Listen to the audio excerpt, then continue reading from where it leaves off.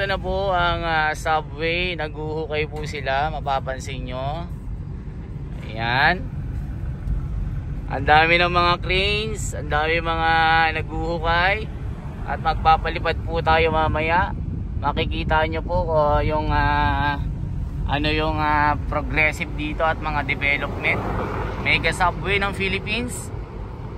Isa sa mga pinaka-ambisyosong project ng Duterte admin kung saan napakaraming mga kontra dahil ah, mababaha daw tayo pagka may subway. Eh di nila alam eh ang Japan ang ah, number one sa gumagawa ng ganitong mga project. Di ba tol? Eh sabi nila mababaha daw tayo pag may subway. Anong masasabi mo? Eh, hindi nag-iisip yung nagsabi niya.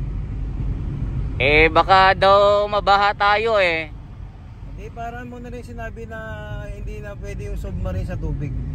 Ah, di ba? Ah. Kaya yung mga kontra pag natapos eh mauna pang sumakay kaysa sa akin. Ibig sabihin, yung nag-propose ng submarine, eh, sasabihin, lulubog yan sa tubig. Oo. Hindi mga kababayan, ano lang.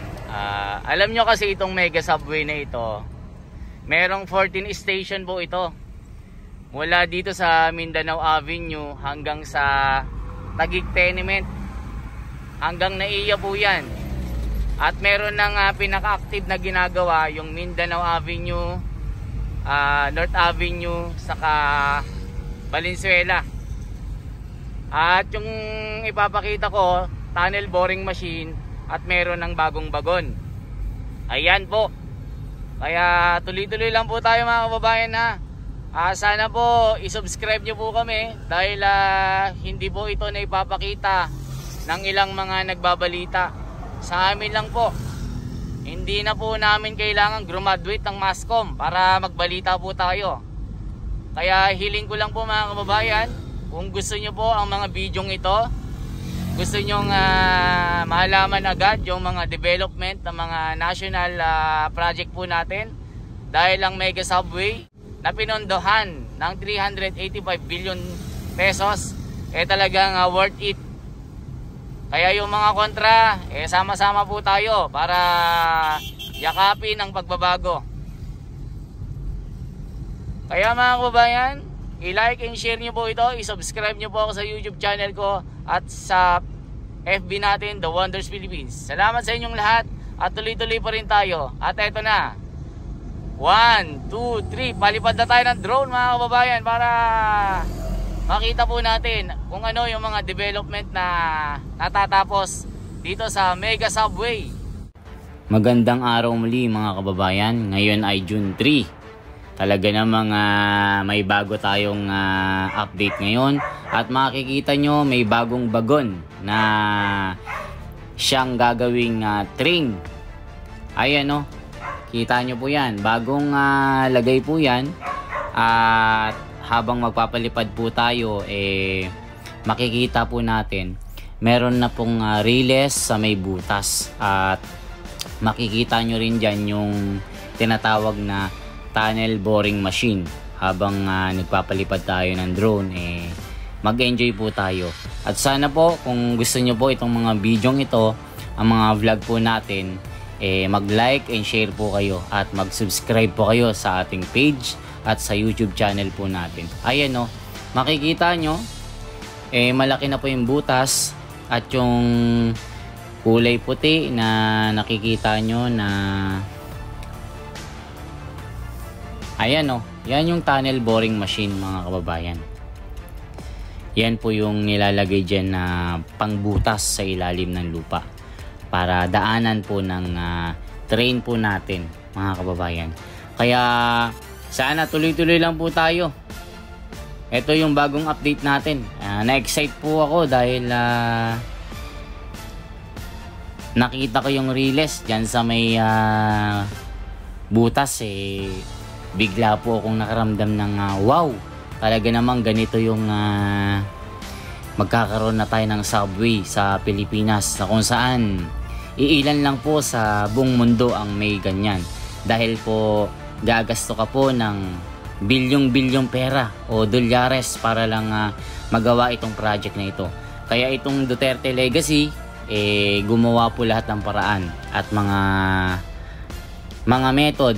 Kasi napakahirap po niyan yung mga right of way sa mga madadaanan na mga bahay, mga matitinding usapin, yung mga kumokontra.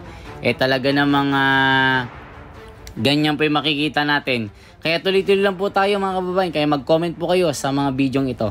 Salamat at mag-enjoy po kayo sa ating aerial shot.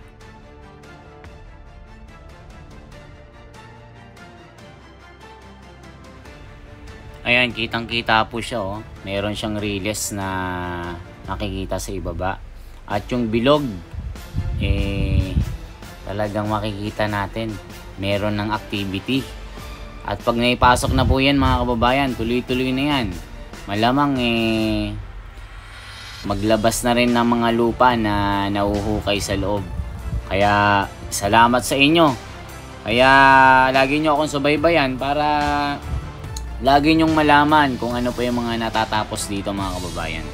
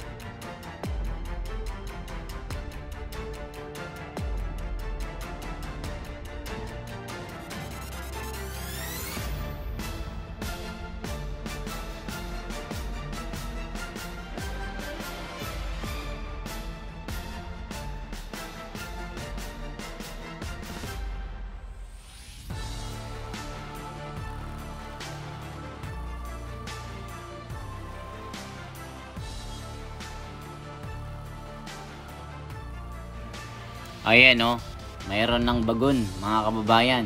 Nai-imagine nyo ba na nakasakay tayo at sa ilalim na po tayo ng lupa? Yung subway na tinatawag. Nai-imagine nyo ba mga kababayan na magkakaroon po ang Pilipinas ng pinaka-ambisyosong project? Nasabi ng iba, eh, mababaha daw tayo. Anong masasabi nyo?